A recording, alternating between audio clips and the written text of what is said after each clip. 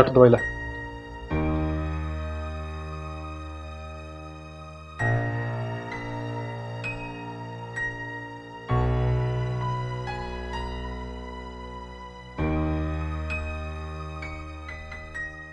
ਪ੍ਰੀਤ doctor ਕਹਿੰਦਾ ਹੁਣ ਤੂੰ ਛੇਤੀ ਠੀਕ ਹੋ ਜਾਣਾ। ਦੀਪ ਮੈਨੂੰ ਨਹੀਂ ਲੱਗਦਾ ਮੈਂ ਠੀਕ ਹੋਣਾ। ਮੈਂ ਤਾਂ ਤੁਹਾਡੇ ਤੇ ਬੋਝ ਬਣ ਗਈ ਹਾਂ। ਪਹਿਲਾਂ ਤੁਸੀਂ ਬਾਹਰ ਕੰਮ ਕਰਕੇ ਆਉਂਦੇ ਹੋ। ਤੇ ਆ ਕੇ ਮੈਨੂੰ ਸਾਂਭਦੇ ਹੋ। ਕਿਤੇ ਤਾਂ ਮੈਂ ਤੁਹਾਨੂੰ ਰੋਟੀ ਬਣਾ ਕੇ ਦੇਣੀ ਸੀ। ਪਤਾ ਨਹੀਂ ਰੱਬ ਕਿਹੜੇ ਕਰਮਾਂ ਦੀ ਸਜ਼ਾ ਦੇ ਰਿਹਾ। ਮੈਨੂੰ ਤਾਂ ਲੱਗਦਾ ਮੈਨੂੰ ਉਸੇ ਮੌਕੇ ਤੇ ਮਰ ਜਾਣਾ ਸੀ। ਤੂੰ ਨਾ ਥੋੜਾ ਸੋਚ ਕੇ ਬੋਲਿਆ ਕਰ। ਨਾਲੇ ਤੂੰ ਮੇਰੀ ਫਿਕਰ ਨਾ ਕਰਿਆ ਕਰ। ਇਹ ਦੁੱਖ ਸੁੱਖ ਤਾਂ ਜ਼ਿੰਦਗੀ ਦਾ ਹਿੱਸਾ ਹੁੰਦੇ ਨੇ। ਇਹ ਤਾਂ ਆਉਂਦੇ ਜਾਂਦੇ ਰਹਿੰਦੇ ਨੇ। ਦੀਪ ਸੱਚੀ ਤੁਸੀਂ ਮੇਰੀ ਕਿੰਨੀ ਫਿਕਰ ਕਰਦੇ ਹੋ। ਮੈਂ ਬਹੁਤ ਕਰਮਾਂ ਵਾਲੀ ਹਾਂ ਜੋ ਤੁਸੀਂ ਮੈਨੂੰ ਮਿਲੇ।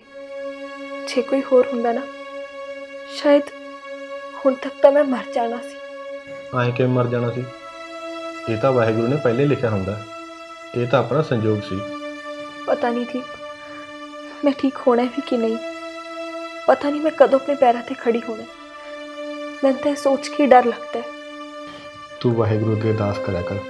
ਉਹ ਜ਼ਰੂਰ ਸੁਣਦਾ। ਨਾਲੇ ਨਾ ਤੂੰ। ਸਵੇਰੇ ਸ਼ਾਮ ਪਾਠ ਕਰਿਆ ਕਰ। ਫਿਰ ਦੇਖੀ ਤੂੰ ਜਲਦੀ ਠੀਕ ਹੋ ਜਾਣਾ। ਇਹ ਨਹੀਂ ਠੀਕ ਹੁੰਦੀ। 6 ਮਹੀਨੇ ਹੋ ਗਏ ਮੰਜੇ ਤੇ ਪਈ ਨੂੰ। ਇਹਨੇ ਤਾਂ ਮੇਰੀ ਜਾਨ ਨੂੰ ਵੀ ਸਿਆਪੇ ਪਾਏ ਹੋਏ ਨੇ। ਇਹਨੂੰ ਇਹਦੇ ਮਾਪਿਓ ਕੋ ਸੁੱਟ ਕੇ ਆ। ਉਹੀ ਸੰਭਾਲਣਗੇ ਇਹਨੂੰ। ਮੰਮੀ ਜੀ ਮੈਂ ਕਿਹੜਾ ਚਾਹ ਨੂੰ ਪਈ ਆ ਕਿਹੜਾ ਕਿਸ ਦਾ ਜੀ ਕਰਦਾ ਐਵੇਂ ਪੈਣ ਨੂੰ? ਮਾਂ ਆਪਣੇ ਘਰ 'ਚ ਕਿਹੜੀ ਗੱਲ ਦੀ ਕਮੀ ਹੈ ਨਾਲੇ ਇਹ ਮੇਰੇ ਘਰ ਵਾਲੀ ਹੈ ਤੇ ਇਹਦੇ ਹਰ ਦੁੱਖ ਸੁੱਖ ਵਿੱਚ ਮੇਰਾ ਨਾਲ ਖੜਨ ਦਾ ਫਰਜ਼ ਬਣਦਾ। ਹੈ ਤੇ ਮੈਂ ਪ੍ਰੀਤ ਨੂੰ ਇਸ ਹਾਲਤ 'ਚ ਇਕੱਲੀ ਨਹੀਂ ਛੱਡ ਸਕਦਾ। ਫਿਰ ਮੇਰੇ ਤੋਂ ਨਹੀਂ ਇਹਦਾ ਸਿਆਪਾ ਹੁੰਦਾ? ਕਦੀ ਪਾਣੀ ਮੰਗਦੀ ਆ ਕਦੀ ਕੀ ਮੰਗਦੀ ਕਦੀ ਕੀ ਮੰਗਦੀ ਆ? ਗੱਲ ਸੁਣ ਲੈ ਮੇਰੀ ਇਹਦੇ ਵਾਸਤੇ ਨਾ ਕੋਈ ਕੰਮ ਵਾਲੀ ਲਾ ਦੇ ਫਿਰ। ਕਮਾਲ ਦੀ ਗੱਲ ਆ ਮਾਂ ਇਹ ਤੇਰੀ ਨੂੰਹ ਆ। ਲੋਕ ਨੂੰਹਾਂ ਨੂੰ ਆਪਣੀਆਂ ਧੀਆਂ ਬਣਾ ਕੇ ਰੱਖਦੇ ਆ। ਤੇ ਤੂੰ ਕਿਹੜੀਆਂ ਗੱਲਾਂ ਕਰਦੀ ਆ ਮਾਂ? ਨਾ ਇਹ ਮੇਰੀ ਧੀ ਦੀ ਰੀਸ ਕਰੂਗੀ। ਕਿੱਥੇ ਮੇਰੇ ਕਰਮਾਂ 'ਚ ਮੜੀ ਪਈ ਸੀ? ਮਾਂ ਹੁਣ ਨਾ ਤੂੰ ਲੋੜ ਤੋਂ ਜ਼ਿਆਦਾ ਬੋਲ ਰਹੀ ਆ। ਜੇ ਤੂੰ ਨਹੀਂ ਸਾਂਭ ਸਕਦੀ ਤਾਂ ਨਾ ਸਾਂਭ। ਪਰ ਤੈਨੂੰ ਪ੍ਰੀਤ ਨੂੰ ਵੀ ਕੁਝ ਕਹਿਣ ਦੀ ਲੋੜ ਨਹੀਂ। ਨਾ ਤੂੰ ਹੁਣ ਆਪਣੀ ਮਾਂ ਨੂੰ ਬੋਲਣ ਤੋਂ ਰੋਕੇਂਗਾ? ਬਣ ਗਿਆ ਨਾ ਤੀਵੀਂ ਦਾ ਗੁਲਾਮ। ਮੇਰਾ ਇਸ ਘਰ 'ਚ ਕੀ ਆ? ਮੈਂ ਜਾਨੀ ਆਪਣੀ ਧੀ ਕੋਲ। ਤੁਸੀਂ ਰਹੋ ਖੁਸ਼। ਮਾਂ ਲੋਕ ਨਾ ਮੇਣੇ ਮਾਰਨਗੇ। ਵੀ ਨੂੰ ਤਾਂ ਮੰਜੇ ਤੇ ਬਿਮਾਰ ਪਈ ਐ ਤੇ ਸੱਸ ਛੱਡ ਕੇ ਧੀ ਕੋਲ ਚਲੀ ਗਈ। ਮੰਮੀ ਜੀ ਤੁਸੀਂ ਕਿਉਂ ਕਿਤੇ ਜਾਣਾ ਹੈ? ਦੀਪ ਤੁਸੀਂ ਮੈਨੂੰ ਮੇਰੇ ਮੰਮੀ ਪਾਪਾ ਕੋਲ ਛੱਡਿਓ ਨਾ ਕਿਉਂ ਛੱਡਾਂ ਮਾਂ ਨਾਲੇ ਜਿੰਨਾ ਚਿਰ ਮੇਰੇ ਸਾਹ ਚੱਲਦੇ ਆ ਨਾ ਮੈਂ ਤੇਰਾ ਸਾਥ ਨਹੀਂ ਛੱਡਦਾ। ਚਾਹੇ ਜੋ ਮਰਜ਼ੀ ਹੋ ਜੀ। ਫਿਰ ਕਰ ਆਪਣੀ ਮਰਜ਼ੀ। ਜਿੱਦਣ ਦੀ ਇਸ ਘਰ 'ਚ ਆਈ ਐ ਘਰ ਦਾ ਸੁੱਖ ਚੈਨੇ ਖਾ ਗਈ। ਹੂੰ।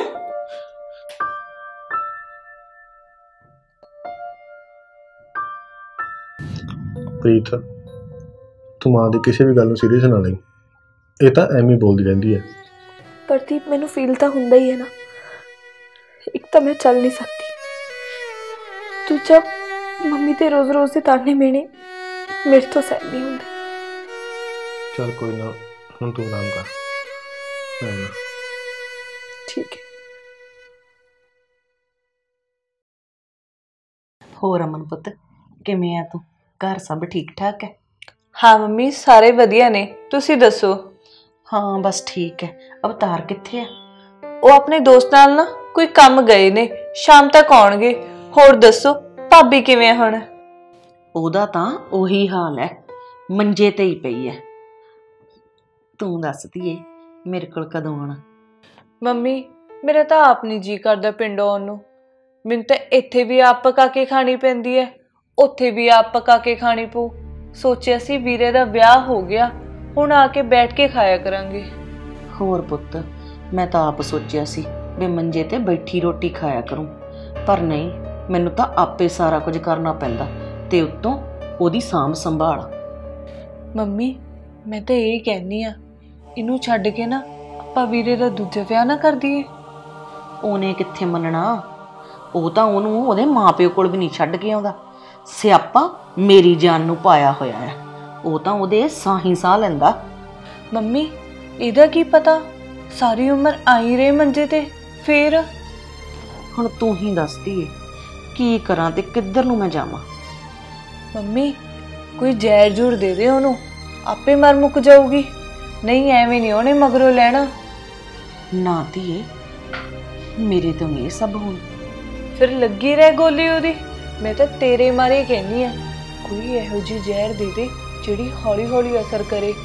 ਇਹਦਾ ਕੀ ਪਤਾ ਉੱਠੇ ਕਿ ਨਾ ਉੱਠੇ। ਫਿਰ ਤੂੰ ਆਪਣੀ ਜਾਨ ਥੋੜੀ ਸੋਲੀ ਟੰਗਣੀ ਆ। ਗੱਲ ਤਾਂ ਤੇਰੀ ਸਹੀ ਹੈ ਚਲ ਕੋਈ ਨਹੀਂ ਮੈਂ ਕਰਦੀ ਕੋਈ ਇੰਤਜ਼ਾਮ। ਹੋਰ ਮੰਮੀ ਇੰਤਜ਼ਾਮ ਤਾਂ ਕਰਨਾ ਹੀ ਪਊ। ਚਲੋ ਕੋਈ ਨਹੀਂ ਤੁਸੀਂ ਬੈਠੋ ਮੈਂ ਤੁਹਾਡੇ ਲਈ ਚਾਹ ਬਣਾ ਕੇ ਲਿਆਨੀ ਆ ਠੀਕ ਹੈ ਧੀਏ।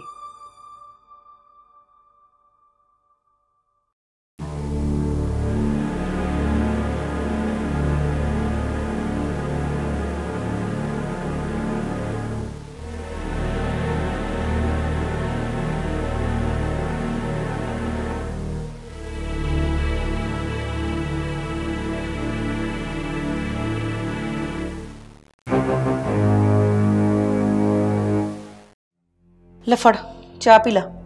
ਰੱਖ ਦੋ ਮੰਮੀ ਜੀ। ਮੰਮੀ ਜੀ। ਹਾਂ ਬੋਲ। ਮੰਮੀ ਜੀ ਮੈਨੂੰ ਮਾਫ ਕਰਿਓ। ਕਿੱਥੇ ਤਾਂ ਮੈਂ ਤੁਹਾਡੀ ਸੇਵਾ ਕਰਨੀ ਸੀ ਤੁਸੀਂ ਮੈਨੂੰ ਸਾਂਭ ਰਹੇ ਹੋ। ਮੈਨੂੰ ਬਹੁਤ ਅਜੀਬ ਲੱਗਦਾ ਹੈ ਜਦੋਂ ਤੁਸੀਂ ਮੇਰੇ ਲਈ ਇੰਨੀ ਖੇਚਲ ਕਰਦੇ ਹੋ। ਠੀਕ ਆ ਠੀਕ ਆ। ਤੂੰ ਚਾਹ ਪੀ ਲਾ ਮੈਂ ਕੋ ਹੋਰ ਕੰਮ ਵੀ ਕਰਨੇ ਹੁੰਦੇ ਨੇ। ਠੀਕ ਹੈ ਮੰਮੀ ਜੀ।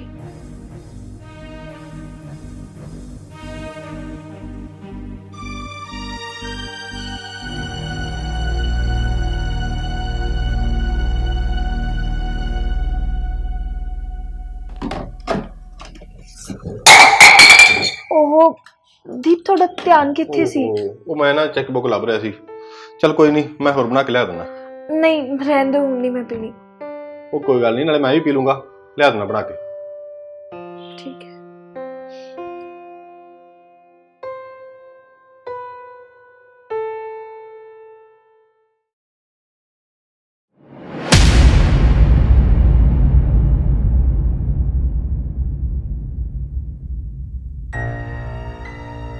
ਦੀਪ ਆਲੋ ਪਾਣੀ।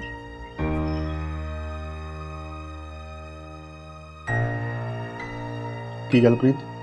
ਅੱਜ ਬਾਲੀ ਖੁਸ਼ ਲੱਗ ਗਈ। ਗੱਲ ਹੀ ਖੁਸ਼ੀ ਵਾਲੀ ਹੈ। ਜੇ ਤੁਹਾਨੂੰ ਪਤਾ ਲੱਗੇਗਾ ਨਾ ਤਾਂ ਤੁਸੀਂ ਵੀ ਬਹੁਤ ਖੁਸ਼ ਹੋਵੋਗੇ। ਅੱਛਾ ਇਹੋ ਜੀ ਕਿਹੜੀ ਗੱਲ ਹੈ? ਮੈਨੂੰ ਵੀ ਦੱਸ ਦੇ। ਦੀਪ ਤੁਸੀਂ ਡੈਡੀ ਬਣਨ ਵਾਲੇ ਹੋ। ਸੱਚੀ? ਸੌਂਗ ਆ ਮੇਰੀ। ਮੈਂ ਪਹਿਲਾਂ ਕਦੇ ਝੂਠ ਬੋਲਿਆ ਤੁਹਾਨੂੰ? ਉਹ ਨਹੀਂ ਝੂਠ ਤਾਂ ਨਹੀਂ ਬੋਲਿਆ। ਫਿਰ ਸੋ ਕਿਉਂ? ਉਹ ਮੈਂ ਤਾਂ ਐਵੇਂ ਹੀ ਕਹਿਤਾ। ਮੈਨੂੰ ਗੱਲ ਸੁਣ ਕੇ ਯਕੀਨ ਜਾ ਨਹੀਂ ਹੋਇਆ।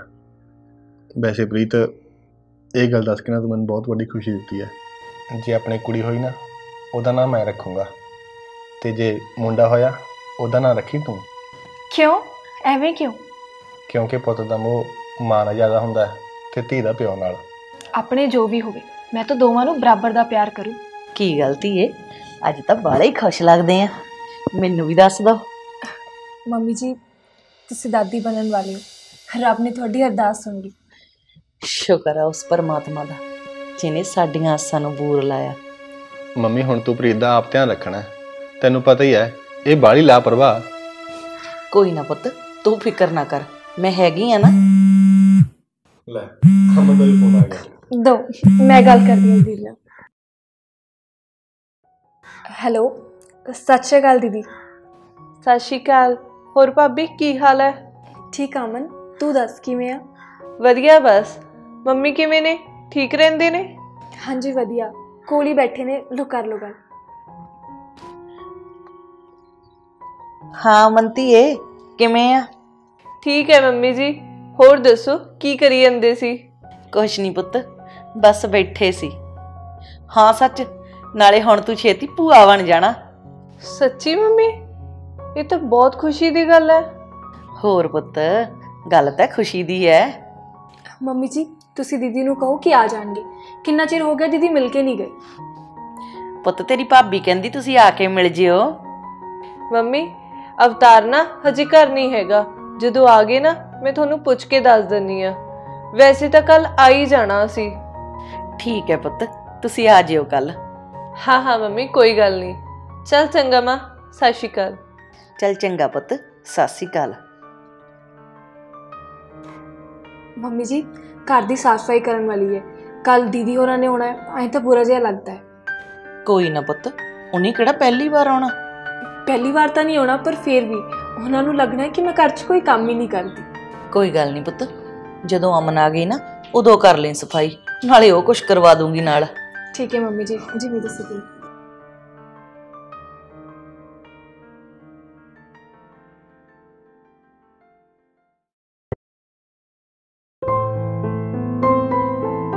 ਪ੍ਰੀਤ ਪੁੱਤ ਚਾਹ ਬਣ ਗਈ ਹੋਣੀ ਆ ਪੁੱਤ ਲੈ ਕੇ ਆ। ਦੀਪ ਇਹਨਾਂ ਵਾਸਤੇ ਕੁਝ ਖਾਣ ਲਈ ਲੈ ਆਂਦਾ ਪੁੱਤ। ਠੀਕ ਹੈ ਨਾ ਨਾ ਮਾਤਾ ਕਾਸੇ ਦੀ ਲੋੜ ਨਹੀਂ। ਚਾਹ ਪੀਣੀ ਹੈ ਬਸ। ਹੋਰ ਕੁਝ ਨਹੀਂ ਖਾਣਾ। ਘਰੋਂ ਰੋਟੀ ਖਾ ਕੇ ਤੁਰੇ ਸੀ। ਕਿਉਂ ਪੁੱਤ? ਖਾਣਾ ਕਿਉਂ ਨਹੀਂ? ਮਸਾ ਤਾਂ ਤੂੰ ਘਰੋਂ ਨਿਕਲਿਆ। ਤੂੰ ਕਿਹੜਾ ਰੋਜ਼ ਆਉਣਾ? ਕੀ ਕਰਾਂ ਜੀ? ਕੰਮਕਾਰ ਹੀ ਬਹੁਤ ਨੇ। ਆ ਟਾਈਮ ਹੀ ਨਹੀਂ ਮਿਲਦਾ। ਨਾਲੇ ਜੇ ਮੈਂ ਨਹੀਂ ਆਉਂਦਾ ਤਾਂ ਤੁਸੀਂ ਆ ਜਾ ਕਰੋ। ਤੁਸੀਂ ਕਿਹੜਾ ਆਉਣੇ ਹੋ? ਬਾਈ ਜੀ ਤਾਂ ਬਹੁਤ ਕਰਦਾ ਉਹਨੂੰ ਪਰ ਘਰੇ ਨਹੀਂ ਸਰਦਾ। ਉਹ ਘਰੇ ਸਰਦਾ ਕਿਹਦਾ? ਆ ਸਾਰਨਾ ਪੈਂਦਾ। ਨਾਲੇ ਟਾਈਮ ਤਾਂ ਕੱਢਣਾ ਹੀ ਪੈਂਦਾ ਜੇ ਆਉਣ ਦਾ ਇਰਾਦਾ ਹੋਵੇ ਤਾਂ।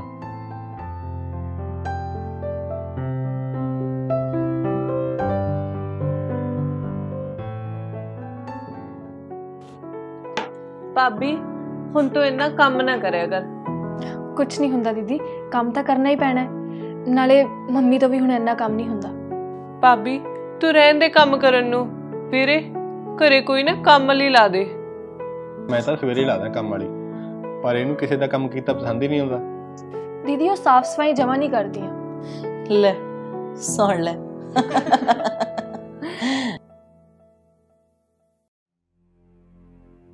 ਜੀ ਕੁਛ ਚਾਹੀਦਾ ਹੈ ਜੀ ਲਿਆਵਾਂ? ਨਹੀਂ ਮੈਨੂੰ ਨਹੀਂ ਚਾਹੀਦਾ। ਨਾ ਕੀ ਹੋਇਆ? ਇਹੋ ਜਿਹਾ ਮੂੰਹ ਕਰਿਆ? ਕੋਈ ਗੱਲ ਹੋਈ ਹੈ? ਨਾ ਹਜੇ ਕੋਈ ਗੱਲ ਦੀ ਕਸਰ ਆ। ਸਾਲੀ ਫੂਕੀ ਚਾਹ ਲਿਆ ਕੇ ਮੱਥੇ ਮਾਰੀ। ਪ੍ਰਾਹੁਣਾ ਇਸ ਘਰ ਦਾ। ਕੋਈ ਮੰਗਦਾ ਤਾਂ ਨਹੀਂ? ਮੰਮੀ ਨੇ ਕਿਹਾ ਸੀ ਤੁਹਾਨੂੰ ਤੁਸੀਂ ਉਹ ਰੋਕਿਆ। ਨਾ ਸ਼ਰਮ ਤਾਂ ਨਹੀਂ ਆਉਂਦੀ। ਅਗਲਾ ਸਾਰਾ ਕੁਝ ਪਹਿਲਾਂ ਲਿਆ ਕੇ ਰੱਖਦਾ ਹੁੰਦਾ। ਜਦੋਂ ਆ ਕੇ ਬਹਿ ਗਈ ਕਹਿੰਦੀ ਚੱਲ ਲਿਆ ਕੁਝ ਖਾਣ ਨੂੰ। ਨਾ ਹੁਣ ਤੁਸੀਂ ਉਰੇ ਤਮਾਸ਼ਾ ਕਰਨਾ ਹੈ? ਕਹਿਦੀ ਆਪਣੇ ਭਰਾ ਨੂੰ ਸ਼ਾਮ ਨੂੰ ਮੇਰਾ ਇੰਤਜ਼ਾਮ ਕਰਕੇ ਰੱਖੇ। ਨਹੀਂ ਮੈਂ ਨਹੀਂ ਰਹਿਣਾ ਇੱਥੇ। ਤੁਹਾਨੂੰ ਪਤਾ ਤਾਂ ਹੈ ਸਾਡੇ ਕੋਈ ਪੀਂਦਾ ਨਹੀਂ। ਫਿਰ ਐਵੇਂ ਕਿਉਂ ਪਰੇਸ਼ਾਨ ਕਰਦੇ ਹੋ? ਜੇ ਇੱਕ ਦਿਨ ਨਹੀਂ ਪੀਓਗੇ ਨਾ ਫਿਰ ਕੀ ਹੋ ਜੂ? ਮੈਂ ਤੈਨੂੰ ਜੋ ਕਿਹਾ ਨਾ ਉਹ ਹੋਣਾ ਚਾਹੀਦਾ। ਸ਼ਾਮ ਨੂੰ ਮੈਨੂੰ ਪੈਗ ਚਾਹੀਦਾ। ਆਹੋ ਚਾਹੀਦਾ ਤੈਨੂੰ ਪੈਗ ਵੱਡੇ ਮਹਾਰਾਜਾ ਪਟਿਆਲੇ ਨੂੰ। ਕੀ ਹੋਇਆ ਦੀਦੀ? ਕੀ ਮੰਗਦੇ ਵੀਰ ਜੀ? ਨਹੀਂ ਨਹੀਂ ਕੁਛ ਨਹੀਂ। ਇਹ ਤਾਂ ਬਸ ਉਹੀ ਬੋਲੀ ਜਾਂਦੇ ਨੇ। ਅੱਛਾ ਮੈਂ ਨਾ ਸਫ਼ਾਈ ਕਰਨ ਜਾ ਰਹੀ ਹਾਂ। ਜੇ ਤੁਹਾਨੂੰ ਕੁਝ ਚਾਹੀਦਾ ਨਾ ਤਾਂ ਮੈਨੂੰ ਦੱਸ ਦਿਓ। ਨਹੀਂ ਨਹੀਂ ਕੁਛ ਨਹੀਂ ਚਾਹੀਦਾ। ਤੁਸੀਂ ਚੱਲੋ ਮੈਂ ਵੀ ਸਫ਼ਾਈ ਕਰਾਉਣੀ ਤੁਹਾਡੇ ਨਾਲ। ਠੀਕ ਹੈ। ਤੁਸੀਂ ਨਾ ਚੁੱਪ ਕਰਕੇ ਬਹਿ ਜਾਓ। ਐਵੇਂ ਰਿਸ਼ਤੇਦਾਰੀ 'ਚ ਨਾ ਜਲੂਸ ਨਹੀਂ ਕੱਢੀਦਾ। ਸਿਆਣੇ ਬਣੀਦਾ।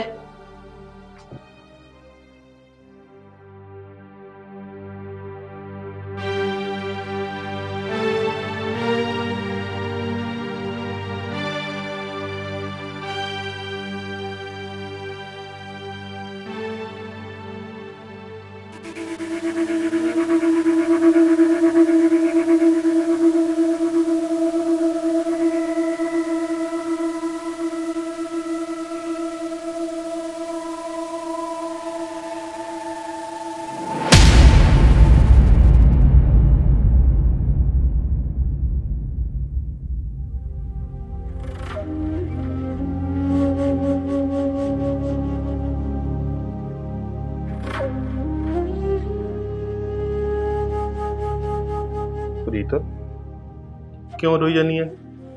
ਮੈਂ ਤੈਨੂੰ ਕਿੰਨੀ ਵਾਰੀ ਕਿਹਾ ਹੈ, ਤੂੰ ਫਿਕਰ ਨਾ ਕਰਿਆ ਕਰ। ਤੂੰ ਛੇਤੀ ਠੀਕ ਹੋ ਜਾਣਾ। ਹੈ। ਦੀਪ ਮੇਰੇ ਨਾਲ ਜੋ ਵੀ ਹੋਇਆ ਮੈਨੂੰ ਕੋਈ ਦੁੱਖ ਨਹੀਂ। ਪਰ ਆਪਣਾ ਬੱਚਾ ਤਾਂ ਬਚ ਜਾਂਦਾ ਦੀਪ ਤੁਸੀਂ ਦੂਜਾ ਵਿਆਹ ਕਰਾ ਲਓ ਤੇ ਆਪਣੀ ਜ਼ਿੰਦਗੀ ਸੁਖੀ ਬਤੀਤ ਕਰੋ। ਨਾਲੇ ਦੀਦੀ ਤੇ ਮੰਮੀ ਵੀ ਤਾਂ ਇਹੀ ਚਾਹੁੰਦੇ ਨੇ। ਜੇ ਤੇਰੇ ਮੂੰਹੋਂ ਮੈਂ ਇਹ ਗੱਲ ਦੁਬਾਰਾ ਸੁਣ ਲਈ ਨਾ ਤਾਂ ਮੈਥੋਂ ਬੁਰਾ ਕੋਈ ਨਹੀਂ ਹੋਣਾ। ਨਾਲੇ ਉਹਨਾਂ ਦੇ ਚਾਹੁੰਨਾ ਕੀ ਹੁੰਦਾ? ਦੀਪ ਕਿੰਨਾ ਕੁ ਚਿਰ ਮੈਨੂੰ ਅਦਮਰੀ ਨੂੰ ਸਾਹਮਣੇ ਫਿਰੋਗੇ ਤੁਸੀਂ? ਜਿੰਨਾ ਚਿਰ ਮੇਰੇ ਸਾਹ ਚੱਲਦੇ ਨੇ ਉਨਾ ਚਿਰ।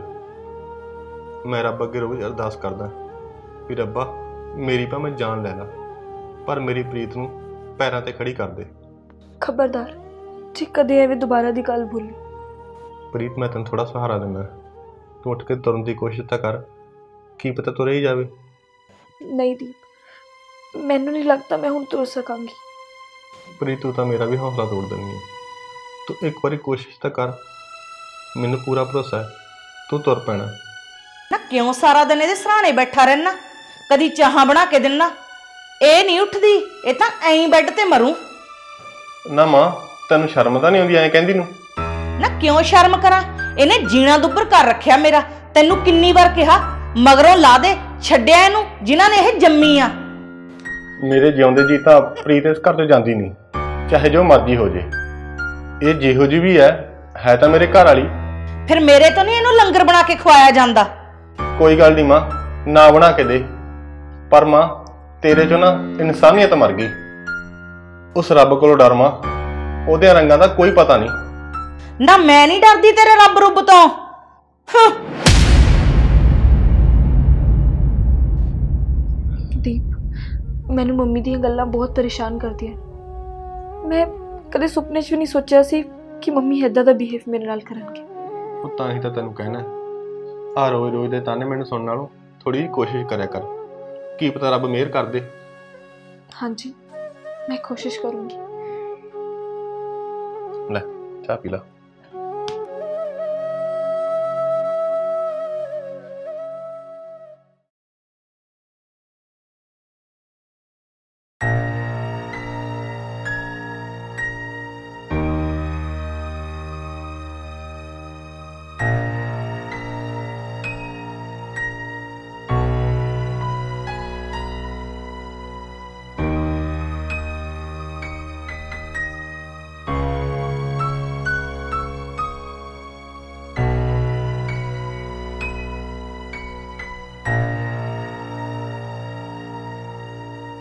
ਡਾਕਟਰ ਸਾਹਿਬ ਹੋਰ ਕਿੰਨੇ ਕੁ ਦਿਨ ਲੱਗਣਗੇ ਇਹਨੂੰ ਠੀਕ ਹੋਣ ਤੇ?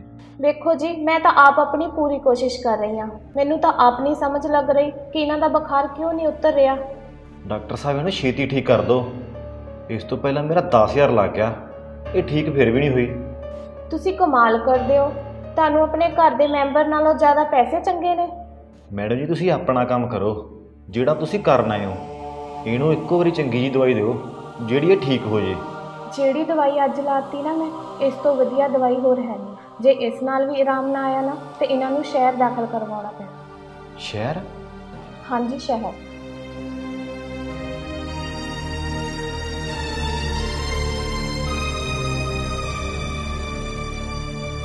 ਪਾਣੀ ਲੈਵਾਂ ਜੇ ਦਵਾਈ ਲੈਣੀ ਤਾਂ? ਨਹੀਂ ਨਹੀਂ। ਕੀ ਕਹਿੰਦੀ ਡਾਕਟਰ ਨੇ? ਡਾਕਟਰ ਕਹਿੰਦੇ ਤੈਨੂੰ ਸ਼ਹਿਰ ਦਾਖਲ ਕਰਨਾ ਪੈਣਾ। ਜੇ ਤੈਨੂੰ ਸ਼ਹਿਰ ਦਾਖਲ ਕਰਨਾ ਪਿਆ ਫਿਰ ਤੂੰ ਦੀਪ ਨੂੰ ਫੋਨ ਲਾ ਦੇ ਵੀ ਮੈਨੂੰ ਪੈਸੇ ਦੇ ਜਾ।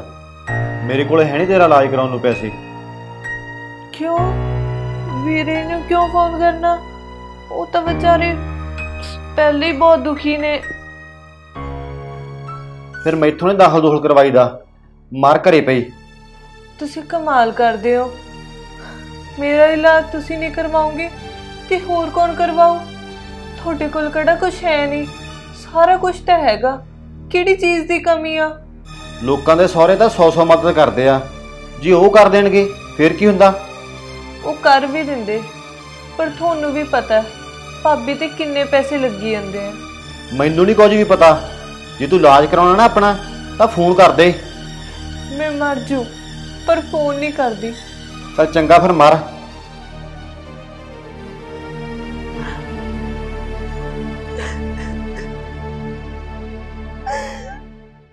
ਅੱਜ ਜਦੋਂ ਮੈਨੂੰ ਇਹਨਾਂ ਨੇ ਆਹ ਗੱਲ ਕਹੀ ਤੇ ਮੈਨੂੰ ਕਿੰਨਾ ਦੁੱਖ ਲੱਗਿਆ।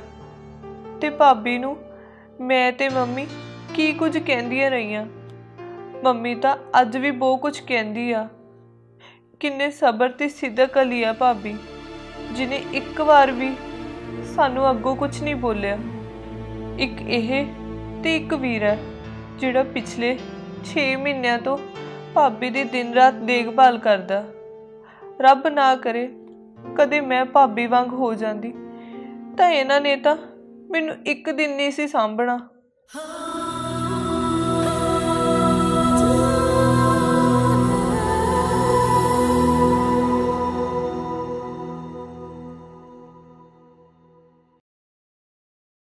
ਡਾਕਟਰ ਸਾਹਿਬ, ਪਹਿਲਾਂ ਮੇਰੀ ਗੱਲ ਸੁਣੋ। ਇਹਦੇ ਨਾਲ ਵੀ ਇਹੋ ਜਿਹਾ ਟੀਕਾ ਲਾ ਦਿਓ, ਜਿਹਦੇ ਨਾਲ 6-7 ਘੰਟੇ ਸੁੱਤੀ ਰਵੇ ਮੈਨੂੰ ਥੋੜਾ ਜਿਹਾ ਕੰਮ ਆ, ਮੈਂ ਉਧਰ ਜਾਣਾ। ਐਵੇਂ ਕਿਵੇਂ ਲਗਾ ਦੇਵਾਂ ਟੀਕਾ ਮੈਂ? ਫਿਰ ਐਂ ਲਾ ਦੋ।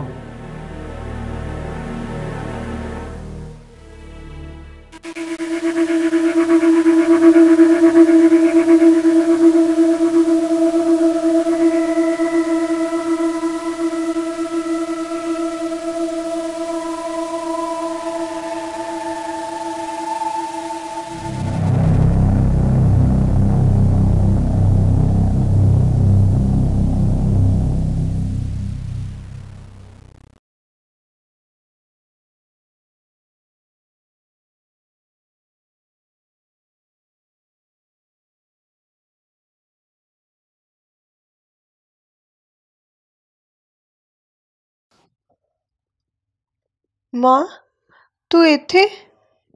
ਇੱਥੇ ਕਿਵੇਂ? ਪੁੱਤ ਮੈਂ ਨਹੀਂ ਇੱਥੇ। ਤੂੰ ਆ ਸਾਡੇ ਕੋਲ। ਆਪਣੇ ਵੀਰੇ ਦੇ ਘਰੇ। ਮੈਂ ਇੱਥੇ? ਅਵਤਾਰ ਵੀ ਆਇਆ? ਪੁੱਤ ਉਹ ਤਾਂ ਤੈਨੂੰ ਇੱਥੇ ਛੱਡ ਕੇ ਚਲੇ ਗਿਆ। ਕਹਿੰਦਾ ਮੇਰੇ ਤੋਂ ਨਹੀਂ ਇਲਾਜ ਕਰਵਾਇਆ ਜਾਂਦਾ। ਨਾ ਮੇਰੇ ਕੋਲ ਪੈਸੇ ਆਏ ਦੇ ਇਲਾਜ ਵਾਸਤੇ। ਇਹ ਕਿਵੇਂ ਹੋ ਸਕਦਾ? ਹੈ? ਉਹ ਇੰਨਾ ਕਿਵੇਂ ਗਿਰ ਸਕਦਾ? ਹੈ? ਮੈਂ ਤਾਂ ਕਦੇ ਸੋਚਿਆ ਵੀ ਨਹੀਂ ਸੀ ਕਿ ਉਹ ਮੇਰੇ ਨਾਲ ਆ ਸਭ ਕੁਝ ਕਰੂ। ਪੁੱਤ ਆਪਣੀ ਤਾਂ ਮਾਮਾ ਧੀਆਂ ਦੀ ਕਿਸਮਤ ਹੀ ਮਾੜੀ ਆ। ਉਧਰੋਂ ਪ੍ਰੀਤ ਮੰਜਾ ਮਲ ਕੇ ਪਈ ਆ। ਉਹ ਪਤਾ ਨਹੀਂ ਮੇਰੇ ਮਗਰੋਂ ਕਦੋਂ ਲੈਣੀ ਆ। ਨਾ ਮੰਮੀ ਐਵੇਂ ਨਾ ਬੋਲ। ਸ਼ਾਇਦ ਰੱਬ ਨੇ ਮੈਨੂੰ ਇਹਦੀ ਓ ਸਜ਼ਾ ਦਿੱਤੀ ਹੈ ਮੈਂ ਤੇ ਤੂੰ ਭਾਬੀ ਨੂੰ ਕਿੰਨਾ ਮਾੜਾ ਬੋਲਦੀਆਂ ਰਹੀਆਂ ਪਰ ਉਹ ਫੇਰ ਵੀ ਚੁੱਪ ਰਹੀ। ਅੱਗੋਂ ਕਦੇ ਨਹੀਂ ਬੋਲੀ ਉਹ। ਨਾ ਪੁੱਤ, ਉਹ ਕਿਹੜਾ ਰੱਬ ਹੈ? ਤੂੰ ਐਵੇਂ ਨਾ ਸੋਚ। ਕੁਛ ਨਹੀਂ ਹੁੰਦਾ। ਨਾਲੇ ਨਾ ਅਵਤਾਰ ਨੇ ਇਹ ਗੱਲ ਤੇਰੇ ਨਾਲ ਕਰਕੇ ਚੰਗੀ ਨਹੀਂ ਕੀਤੀ। ਐਦਾਂ ਦੇ ਰਿਸ਼ਤੇ ਤਾਂ ਨਾ ਹੀ ਹੋਣ ਤਾਂ ਚੰਗਾ ਹੈ। ਮੰਮੀ, ਅੱਜ ਤੁਹਾਨੂੰ ਕਿੰਨਾ ਦੁੱਖ ਲੱਗਿਆ। ਜਦੋਂ ਅਵਤਾਰ ਮੈਨੂੰ ਬਿਮਾਰ ਪਈ ਨੂੰ ਤੁਹਾਡੇ ਕੋਲ ਛੱਡ ਗਿਆ। ਪਰ ਤੁਸੀਂ ਤਾਂ ਭਾਬੀ ਨੂੰ ਰੋਜ਼ ਤੰਗ ਕਰਦੇ ਸੀ। ਤੇ ਉਹਦੇ ਦਿਲ ਤੇ ਕੀ ਬੀਤਦੀ ਹੋਏਗੀ? ਮੰਮੀ ਆਪਾਂ ਨੂੰ ਭਾਬੀ ਤੋਂ ਹੁਣ ਵੀ ਮਾਫੀ ਮੰਗ ਲੈਣੀ ਚਾਹੀਦੀ ਹੈ। ਆਪਾਂ ਬਹੁਤ ਵੱਡੀ ਗਲਤੀ ਕੀਤੀ ਹੈ। ਗੱਲ ਤਾਂ ਤੇਰੀ ਠੀਕ ਹੈ ਧੀਏ। ਮੈਂ ਆਪਣੀ ਇਸ ਹਰਕਤ ਤੇ ਬਹੁਤ ਸ਼ਰਮਿੰਦਾ ਹਾਂ। ਪਰ ਮੈਂ ਕਿਹੜਾ ਮੂੰਹ ਲੈ ਕੇ ਉਹਦੇ ਸਾਹਮਣੇ ਜਾਵਾਂ? ਉਹ ਸ਼ੁਕਰ ਆ ਰੱਬ ਦਾ।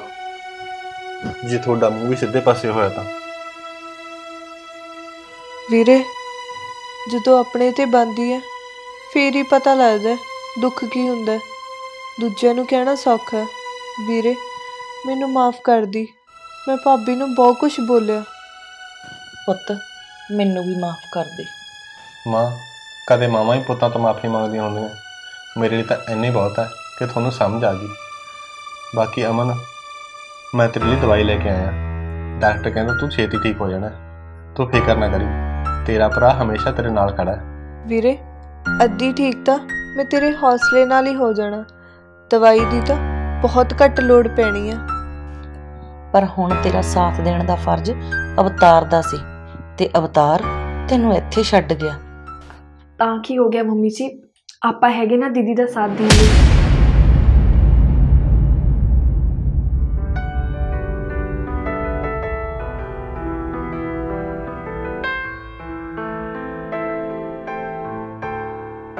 ਪ੍ਰੀਤ ਤੂੰ ਆਪ ਤੁਰ ਕੇ ਆਈ ਹੈ ਮੈਨੂੰ ਤਾਂ ਵਿਸ਼ਵਾਸ ਹੀ ਨਹੀਂ ਹੋ ਰਿਹਾ।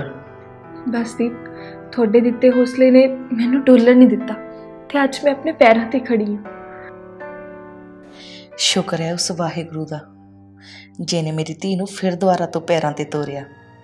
ਮੈਨੂੰ ਮਾਫ ਕਰ ਦੇ ਧੀਏ ਮੈਂ ਤੇਰੇ ਨਾਲ ਹਮੇਸ਼ਾ ਵਿਤਕਰਾ ਕੀਤਾ ਤੇ ਤੈਨੂੰ ਤਾਨੇ ਮੇਣੇ ਦਿੰਦੀ ਰਹੀ। ਭਾਬੀ ਮੈਂ ਵੀ ਤੇਰੇ ਬਾਰੇ ਬਹੁਤ ਬੁਰਾ ਸੋਚਦੀ ਰਹੀ। ਸ਼ਾਇਦ ਰੱਬ ਨੇ ਸਹੀ ਰਾਹ ਪਾਉਣ ਲਈ ਮੇਰੇ ਨਾਲ ਆ ਸਭ ਕੁਝ ਕੀਤਾ। ਨਹੀਂ ਦੀਦੀ ਮੈਨੂੰ ਕਿਸੇ ਨਾਲ ਕੋਈ ਸ਼ਿਕਾਇਤ ਨਹੀਂ ਹੈ। ਉਹ ਬੁਰਾ ਵਕਤ ਸੀ ਬੀਤ ਗਿਆ। ਤੇ ਤੁਸੀਂ ਫਿਕਰ ਨਾ ਕਰੋ ਤੁਸੀਂ ਛੇਤੀ ਠੀਕ ਹੋ ਜਾਣਾ। ਪ੍ਰੀਤ ਮੈਂ ਤੈਨੂੰ ਕਿਹਾ ਸੀ ਨਾ ਵੀ ਤੂੰ ਛੇਤੀ ਠੀਕ ਹੋ ਜਾਣਾ। ਤੇ ਅੱਜ ਤੇਰੇ ਸਾਹਮਣੇ ਆ। ਦੀਪ ਹਾਲਾਤ ਕਿੰਨੇ ਵੀ ਮਾੜੇ ਕਿਉਂ ਨਾ ਹੋਣ। ਜੇ ਹਮਸਫਰ ਸਾਥ ਦੇਣ ਵਾਲਾ ਹੋਵੇ ਨਾ ਤੇ ਨਾ ਹੀ ਹਿੰਮਤ ਟੁੱਟਦੀ ਹੈ ਤੇ ਨਾ ਹੀ ਰਿਸ਼ਤੇ। ਤੇ ਤੁਹਾਡੇ ਸਾਥ ਨੇ ਮੈਨੂੰ ਅੱਜ ਤੱਕ ਜਿਉਂਦਿਆਂ ਰੱਖਿਆ ਤੇ ਤੁਹਾਡੇ ਸਾਥ ਨੇ ਮੈਨੂੰ ਚੜ੍ਹਦੀ ਕਲਾ ਵੱਲ ਪ੍ਰੇਰਿਤ ਕੀਤਾ ਹੈ ਤੇ ਨਤੀਜਾ ਤੁਹਾਡੇ ਸਾਹਮਣੇ ਹੈ। ਪਰ ਪੁੱਤ ਅਜੇ ਵੀ ਤੂੰ ਆਪਣਾ ਧਿਆਨ ਰੱਖੀ। ਇਹ ਨਾ ਹੋਵੇ ਤੂੰ ਜ਼ਿਆਦਾ ਤੋਰਾ ਫੇਰਾ ਕਰਨ ਲੱਗ ਜਵੇਂ। ਪ੍ਰੀਤ ਹਜੇ ਤਾਂ ਤੂੰ ਸਹਾਰੇ ਨਾਲ ਹੀ ਤੁਰਨਾ। ਪੁੱਤ ਕੋਈ ਨਹੀਂ ਤੂੰ ਮੈਨੂੰ ਆਵਾਜ਼ ਮਾਰ ਲਿਆ ਕਰੀ। ਮੰਮੀ ਜੀ ਜਦੋਂ ਤੁਸੀਂ ਮੇਰੇ ਨਾਲ ਹੋ ਮੇਰਾ ਪਰਿਵਾਰ ਮੇਰੇ ਨਾਲ ਹੈ ਤਾਂ ਮੈਂ ਕਿਉਂ ਫਿਕਰ ਕਰਾਂ? ਬਸ ਹੁਣ ਤਾਂ ਆਪਾਂ ਛੇਤੀ ਦੀਦੀ ਨੂੰ ਠੀਕ ਕਰਨਾ ਹੈ ਤੇ ਦੀਦੀ ਸੁਖੀ ਸਾਂਦੀ ਆਪਣੇ ਘਰ ਜਾਵੇ। ਪੁੱਤ ਹੋ ਤਾਂ ਇਹਨੂੰ ਮਰਿਆਂ ਵਰਗੀ ਕਰਕੇ ਆਪਣੇ ਘਰ ਸੁੱਟ ਗਿਆ ਪਰ ਮੈਂ ਉਸ ਘਰ ਆਪਣੀ ਧੀ ਨਹੀਂ ਭੇਜਣੀ। ਮੰਮੀ ਜੀ ਬੰਦੇ ਦਾ ਸੁਭਾਅ ਹਮੇਸ਼ਾ ਇੱਕੋ ਜਿਹਾ ਨਹੀਂ ਰਹਿੰਦਾ। ਬਾਕੀ ਆਪਾਂ ਪੂਰੀ ਗੱਲਬਾਤ ਕਰਕੇ ਭੇਜਾਂਗੇ। ਠੀਕ ਹੈ ਧੀਏ।